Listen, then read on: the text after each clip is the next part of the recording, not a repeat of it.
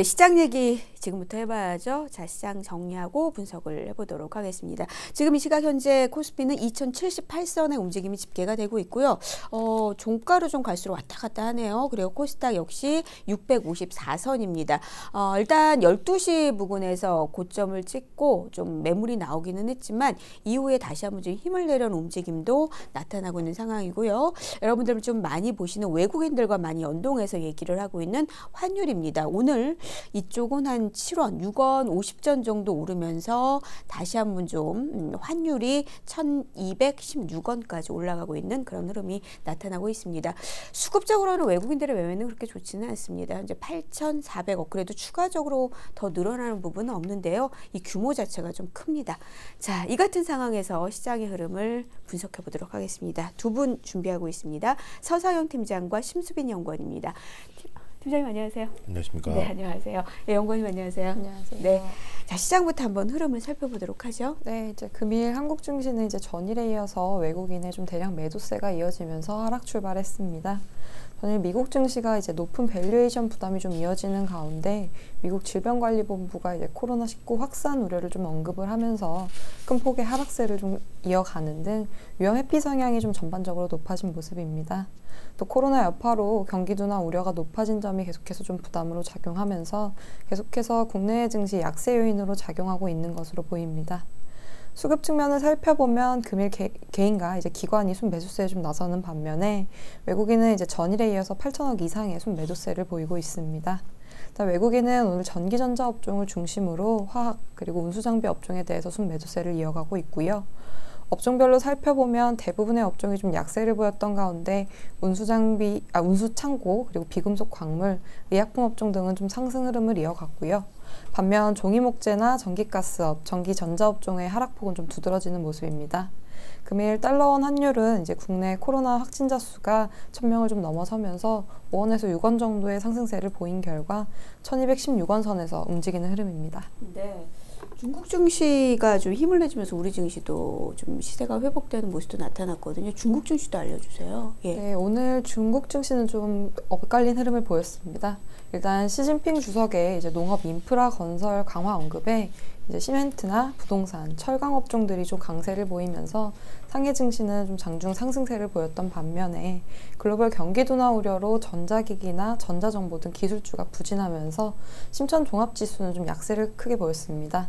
어, 테마별로 살펴보면 이제 해양 장비나 농촌 활성화 관련 테마는 좀 강세를 보였지만 5G나 화웨이, 광대역 통신, 가전, 가전 등은 좀 2, 3% 수준의 약세를 좀 보이면서 업종별로 좀 차별화된 흐름을 보였던 점이 특징적이, 특징적이었습니다. 음. 결국 이제 중국 증시도 전체적인 시장의 강세보다는 정부의 부양 정책에 대한 기대를 바탕으로 관련 종목만 이제 상승을 하면서 업종별, 종목별 차별화된 흐름을 보이고 있다는 점이 특징입니다. 네. 그러니까 좀 덩치가 크면은 지수도 같이 움직이고 뭐 이런 양상들이 나타났던 그런 흐름인 것 같습니다. 자 시장 조금 더 자세히 좀 분석을 해보도록 하겠습니다. 음, 팀장님. 예, 네, 대체적으로 지금 현재 지금 증시 지수 위치에 대해서 많이 말씀을 하시네요. 많은 분들이요. 그러게요. 예, 예. 믿을만 합니까? 신뢰를 할 수 있는 지수대인가요? 여기서 좀 어느 정도 지지를 받고 있는 부분. 시장이 알려주겠죠. 음, 아직은 알려주지 않았다고 보시는군요. 그건 예. 모르죠. 아 어렵다. 예예 예. 말씀해 주세요. 예. 그러니까 계속적으로 말씀을 드리지만 네. 최근 지수의 하락 요인들을 계속적으로 음. 점검을 해야 되는 시기라고 보시면 돼요. 그러니까 미국 증시가 물론 이제 겉으로 표명된 거는 코로나 이슈로 인해서 급락을 했고 그게 이제 우리나라 주식시장에 영향을 줬다라는 판단들이 많지만 네.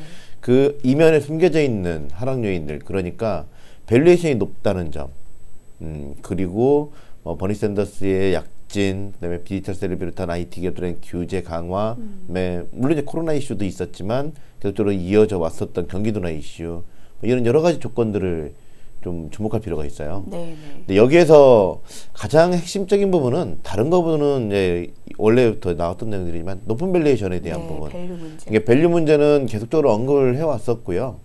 어, 그 문제가 왜 문제냐면 실적이 개선되지 않고 기대만으로 올라가는 것들은 보통 기대가 갑자기 꺾이면 급락을 해버리는 경향들이 네. 많이 있어요.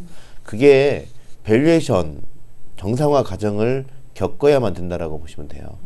그러니까 뭐 실적이 작년 2019년도 미국 같은 경우 보면 어, 실적이 YoY로 0.6% 증가를 했는데 주가는 30% 증가를 했어. 상승을 했죠. 네. 왜? 돈의 힘이겠죠. 네, 네. 유동성. 음. 네. 근데 이제 그 smart money들이 왜 주식을 샀을까라고 생각하지만 smart money라기보다는 자사주 매입이라고 보시면 돼요. 음. 자기 주식. 음. 미국이라는 나라의 특징은 주주자본주의. 그러니까 주주가 무조건 우선이거든요. 그러니까 예전에 애플 같은 경우 스티브 잡스가 만들었지만 너 네가 만들었지만 너 주가 개판 만들어놨네. 너 나가. 그만둬 나가 이렇게, 이렇게 네. 돼버리잖아요. 예, 그런 것처럼 미국이라는 나라의 움직임은 주가에 달려 달려 있다고 보시면 돼요. 그러니까 그 CEO들은 가장 중요하게 여기는 게 음. 결국은 뭐 자사주 매입을 하든 배당을 하든 주가만 올리면 돼요. 네. 아. 그래서 트럼프 대통령이 그런 이유가 그렇죠. 예, 기업가였기 때문에 그럴 수도 있겠네요. 음, 그렇죠. 네. 이제 그렇기 때문에 대체적으로 주가가 못 올라가면 음. 뭐 회사를 창업자라고 해도 주주들이 해가지고 그만두게 만들거든요. 그런 식의 움직임. 그렇기 때문에 대체적으로 자사주 매입이라든지 이런 것들이 크게 증가를 했었다. 네.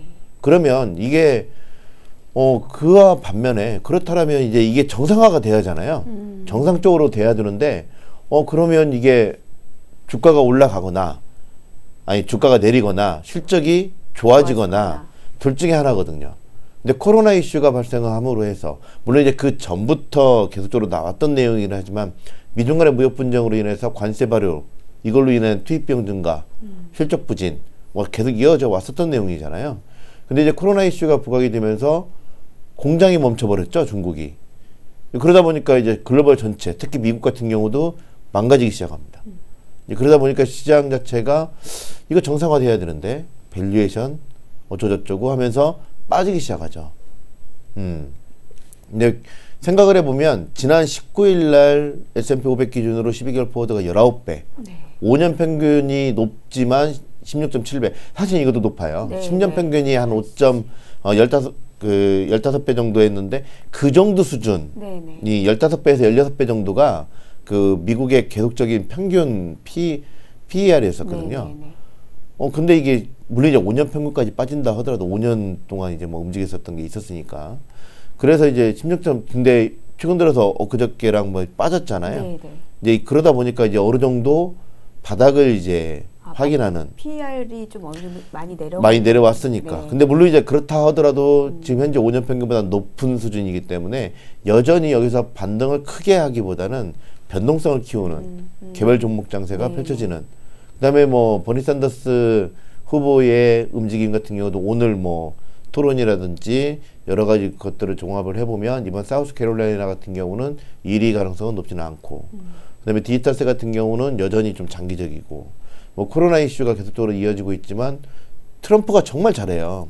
뭐냐면 오늘도 미국장 끝나고 나서 CDC 음. 질병통제센터한테 네, 네, 네, 네. 경고했어요. 막 뭐라 그랬다고. 너 왜 그 주가 빠지게 이상한 소리 하니 네. 우리는 정말 잘하고 있어라고 하는데 문제는 뭐, 뭐냐면 검진을 안 해요. 음, 네. 검진이 한 400건 정도밖에 안 해요. 왜 그러냐면 얘네들이 만약에 우리나라 같으면 무슨 문제가 생기면 바로 보건소로 데려가서 네. 하잖아요. 3만 5천 건 우리나라가 그런 것들은 정말 잘하거든요. 음, 네, 그래서 이 부분에 대해서 굉장히 조명이 많이 되더라고요. 그렇죠. 예. 3만 5천 건 뭐 모든 전수조사 하듯이 네. 뭐 그렇게 하는데 미국은 만약에 문제가 생기면 유사 증상이 나와도 그 샘플을 채취를 해서 그 CDC로 보내서 거기서 어쩌고저쩌고 조사를 해서 검증이 되면 병원들이 안 해요. 거기다가 좀 그 중국 갔다 온 사람에 한해서만 음. 또 그것도 받을 수 있다고 얘기를 하더라고요. 그러다 보니까 네. 비용이 음. 많으니까. 개인이 부담한다고 음, 그렇죠. 예. 내내 돈 내고 왜? 그러니까 그러다 보니까 400건 정도밖에 안 돼요. 네. 그러니까 트럼프가 이게 잘하는 건지 어떤 건지는 모르겠지만 그래서 어저께 사실은 미국 증시 내부에서도 그 의료계에서 그 얘기를 했었어요. 뭐냐면 이게 지금 트럼프가 검진을 이게 정부에서 지원을 해가지고 이거 검진을 확대 전수조사 못하고 이게 이렇기 때문에 이게 적지만 이 이미 많이 퍼질 대로 네, 퍼졌다라는 말까지 나올 정도로 음. 그래서 이제 어떻게 보면 미국이 잘하고 있는 게 아니라 어떻게 보면 이게 우리나라가 잘하고 있는 거죠. 음, 그러니까 이게 방법이 여러 가지가 있는데 하여튼간 이 부분에 대해서 나중에 평가하는데 저는 후자가 나은 것 같은데요. 확진자가 아무튼 뭐 예. 그런 식의 여러 가지 악재성 재료들이 하나둘씩 음. 그 완화되는 그런 구간에 들어와 있고요. 우리나라 같은 경우도 지금 보면 12개월 forward PER 그 평균이 5년 평균이 9.9배. 네네. 근데 이게 1960 포인트. 음. 근데 지난번 미중 간의 무역 분쟁이 격화됐을 때 PBR. 네. 보통 저점을 할 때 PBR로 따지지만 그쵸. 제가 왜 PER을 언급을 했냐면 요즘에 valuation 부담 때문에 그래서 이제 PER로 따졌지만 PBR로 따지게 되면 지난 미중 간의 무역 분쟁 때 가장 바닥을 쳤을 때가 뭐 0.76배. 네, 그게 어 지금 현재 0.8배고 네. 그때 당시 바닥이 0.76배 정도였는데 네. 그 수준이 2054. 음. 그러니까 오늘 일차적인 바닥을 확인했다라고 봐야 될 것 같고요. 오늘 미국 미증시가 좀 올라가 주면 내일 좀 반등을 주는 그런 흐름을 좀 보일 것으로 전망을 하고 있죠. 예. 뭐 어제도 좀 내렸고 오늘까지 아 이거는 또 내일장의 투자 전략으로 좀 말씀을 들어보도록 하겠습니다. 현재 동시호가 상황이 진행 중이고요. 일단 시세 부분에서는 음, 코스닥보다는 코스피가 2075선 1.3% 정도의 하락세가 나오고 있는 게 눈에 띄고 있는 그런 흐름입니다. 뭐 일단은 지금 상황에서는 기술주를 중심으로 거래소는 하락폭이 좀 있는 그런 모습입니다. 자, 동시호가도 챙겨 보시면서 있어요. 자, 내일장의 투자 전략으로 가보겠습니다.